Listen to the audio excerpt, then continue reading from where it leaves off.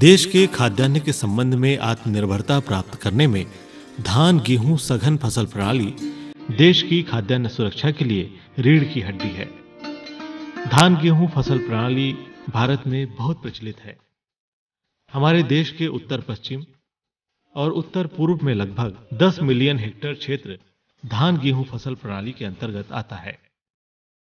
देश की तेज़ी से बढ़ रही जनसंख्या की खाद्यान्न आपूर्ति को सहन करने के लिए अभी हाल ही में मध्य भारत में धान, गेहूँ फ़सल चक्र के अंतर्गत कुछ क्षेत्र लाया गया है।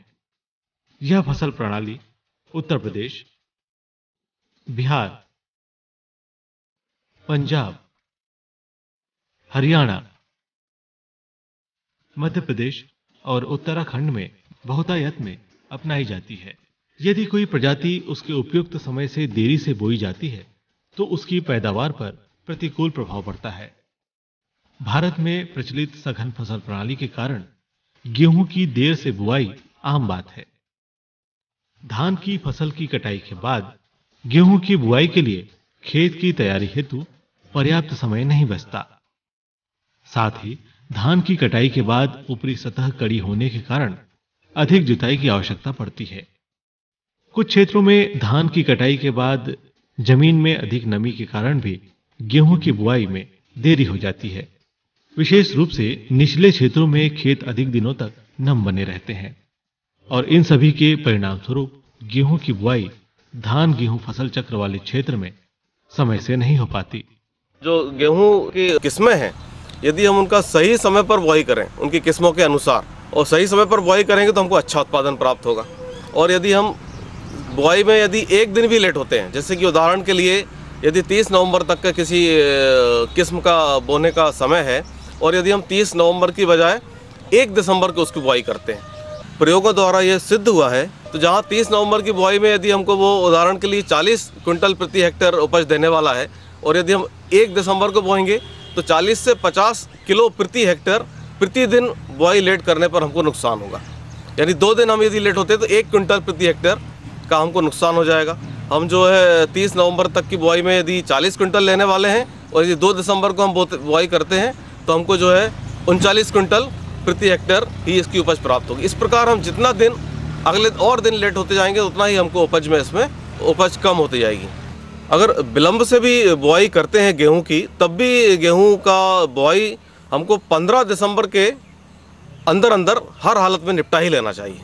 तो इस प्रकार से ये जो गैप है कि हमको सही उत्पादन लेना है, ये जो विलम्ब हो रहा है समय में उसको बचाने के लिए हमको ज़ीरो टिलेज तकनीक का उपयोग करना चाहिए, क्योंकि इसमें हमको भूमि तैयार किए बगैर ही हम इसमें बुआई करते हैं, और भूमि तैयार करने में जो समय लगता है, वो वो इसमें बच जाता है।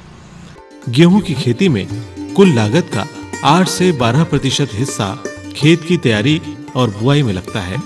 ज़ीरो टिलेज तकनीक द्वारा गेहूँ की बुआई करने से किसान इन सभी कठिनाइयों से छुटकारा पा सकते हैं, क्योंकि इस तकनीक का उपयोग करके किसान भाई गेहूँ की बुआई को समय पर समाप्त कर सकते हैं, जो कि गेहूँ का भरपूर उत्पादन लेने के लिए बहुत ज़रूरी है।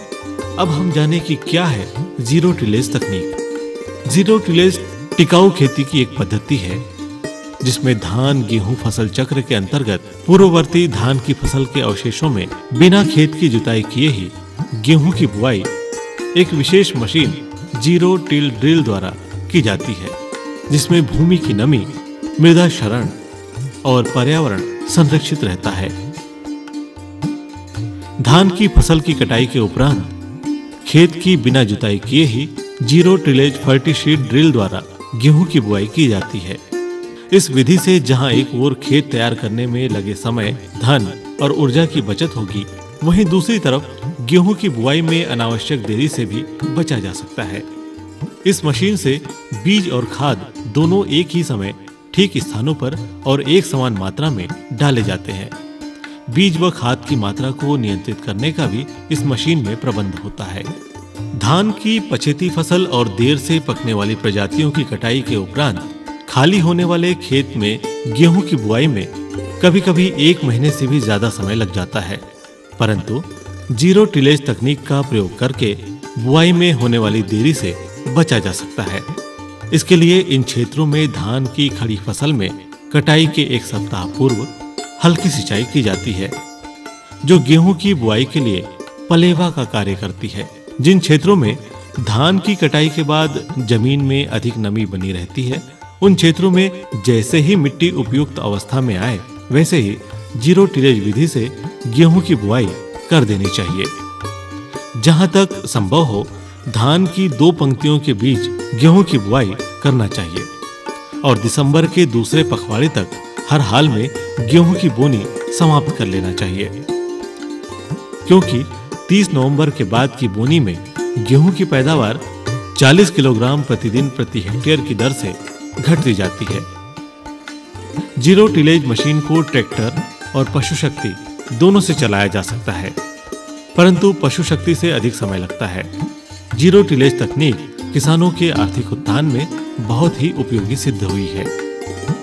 होता क्या है कि जैसे ही हम धान के खेत की कटाई करते हैं जी। और गेहूँ की बोनी करते हैं उसके बीच में बहुत कम समय हमको मिलता है। क्योंकि गेहूँ के लिए भी कम से कम साठ दिन की सर्दी चाहिए। तो इस हिसाब से हमें थोड़ा जल्दी करना पड़ता है उसकी बोनी।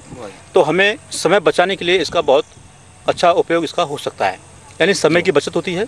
जी। दूसरा आप खेत तैयार करते हैं नेचुरली इसमें पैसा ज़्यादा लगता है तो वो आपका धन बचत होती है और फिर क्या नाम से उसमें मेहनत भी लगती है तो मेहनत बचत होती है।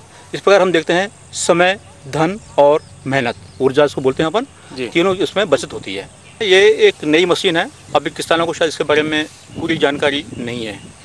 तो इसको चलाने में ट्रैक्टर की आवश्यकता पड़ती है ट्रैक्टर के पीछे लग, इसको लगाते हैं आ, और इसमें एडजस्टमेंट होता है।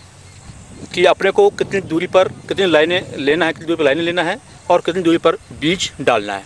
तो उसका एडजस्टमेंट अपन उससे करते रहते हैं। तो अपनी सुविधा ये रहती है कि अपने जो अनुशंसित दूरी होती है, उस दूरी पर अपन इसको डाल सकते हैं। दूसरा क्या होता है कि कभी कभी ज़्यादा गीला हो जाता है नमी ज़्यादा होती है तो उसमें ये चलता नहीं है। तो हमको ऐसी अनुकूल परिस्थिति बनानी पड़ेगी खेत में स्थिति में रुकना पड़ेगा, जब तक आराम से उसमें ज़्यादा नमी ना रहे कम नमी हो जाए और आसानी से चल सके। वरना आपके चरम से चौक हो जाते हैं और सीट गिरना बंद हो जाता है। तो हमें चलते वक्त ये ध्यान रखना चाहिए कि कोई आ, उसका कहना चौक तो नहीं हो रहा है। या चौक हो रहा है तो उसको चरम से साफ़ करना पड़ता है। इस तकनीक से बोनी करते समय कुछ खास बातों पर ध्यान अवश्य दें। ज़ीरो टिलेज तकनीक द्वारा गेहूँ की बुआई के लिए सामान्य विधि की तुलना में अधिक नमी की ज़रूरत होती है।